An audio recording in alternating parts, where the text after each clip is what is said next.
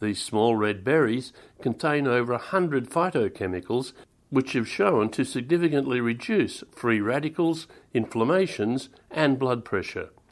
A 2017 study investigated these positive effects. After giving pomegranate juice to a randomized group of patients for 12 weeks, researchers noted that consuming 240 millilitres of juice daily reduced systolic blood pressure, diastolic blood pressure.